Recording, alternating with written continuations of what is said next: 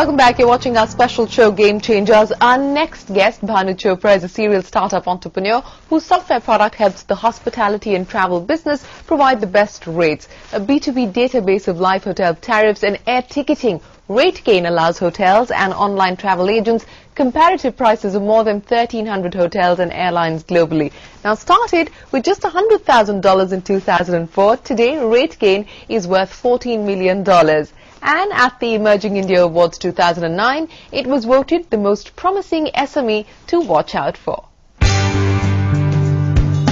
His innovation allows the travel and hospitality industry to offer the best rates and make a gain. Meet the mind behind the technology, Bhanu Chopra, founder of RateGain. A computer science and finance graduate from the Indiana University Bloomington, Bhanu turned entrepreneur in the US with his startup IT consulting firm, RIV Consulting. But when the dot-com bubble burst, Bhanu began to look east. India offered an attractive destination with comparative cost advantages and an enormous talent pool. So this techie returned home in 2004, invested $100,000 and set up RateGain. A B2B software products business, RateGain provides online analysis of air ticket prices, hotel tariffs and available inventory. This allows businesses to access the best rates on one platform and offer their prices competitively. But starting up in India was not as easy. When I launched uh, RateGain in the beginning, uh, obviously all my work experience had been in the US. Um, so all the product ideas that I got were to address the US marketplace. So at that point, the online travel agents in the US, you know, were really uh, doing very well. And there was a new emerging trend where users would go on to different uh, OTA sites like Expedia, Travelocity, Priceline, and try to do price comparison to find the best deal for that air, for that airfare, for that hotel so um, that sort of uh, you know got me thinking that it would be a great opportunity to build a product that would do this price comparison. And um, around that time, we heard of another company that was trying to get into uh, launching a price comparison site for travel in the US as well. Um, but I quickly realized, given the fact that I was moving to India, logistically it would be very hard to try to market a site in the US while you're sitting here and you're bootstrapping it, you don't have the financial muscle or the venture capital. So I flipped the business model to be more B2B, where we would actually sell these technologies to the online travel players themselves so that they could benchmark what rates that they have versus their competition. To provide hotels and travel agents this cost comparison advantage, RateGain offers five online product solutions. Comparative price analysis, inventory management, online marketing and search intelligence gives users reports and analysis collated from a database of more than 450 websites. RateGain solutions are retailed either on demand or as a SaaS product with prices ranging from 3,000 to $5,000 for an annual subscription.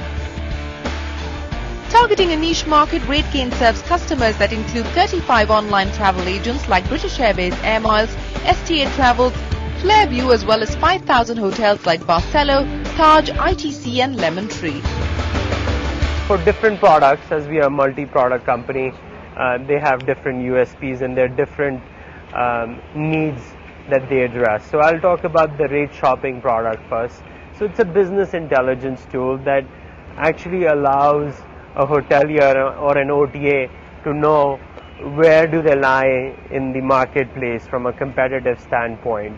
Um, and as a result of that information, they are able to optimize uh, their pricing and be competitive.